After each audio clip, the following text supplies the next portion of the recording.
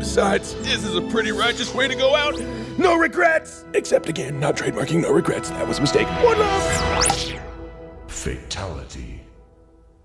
Just to be clear, that really happened. You could see him, right? Uh huh. Time to go? Yeah.